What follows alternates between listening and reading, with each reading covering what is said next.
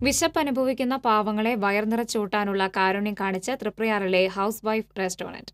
നട്ടിക മുൻ ഗ്രാമപഞ്ചായത്ത് president Anil Pulickan working ചെയർമാനായ റെസ്റ്റോറന്റിൽ വിശപ്പിന്റെ മക്കൾക്കായി ഇനി മുതൽ ഒരു നേരത്തെ ഭക്ഷണം സൗജന്യമായി ഇവിടെ ലഭിക്കും. മോഷ്ടാവെന്ന് മുദ്രകുത്തി നാട്ടുകാർ തല്ലിക്കൊന്ന അട്ടപ്പാടിയിൽ ആദിവാസി യുവാവ് മധുവിന്റെ ദൈന്യതയാർന്ന ജീവിതമാർന്നാണ് സൗജന്യ ഭക്ഷണം എന്ന ആശയത്തിന് പ്രേരണയായതെന്ന് അനിൽ പുളിക്കൽ പറഞ്ഞു.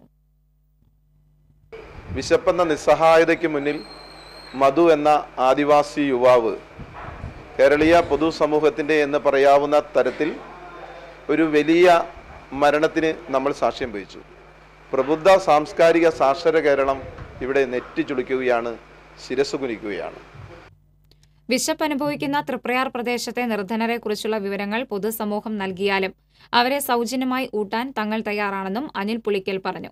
ഇതോടൊപ്പം ഭക്ഷണമില്ലാതെ വീടുകളിൽ കഴിയുന്നവർക്ക് ആവശ്യമായ ഒരു നേരത്തെ ഭക്ഷണം എത്തിച്ചു നൽകും.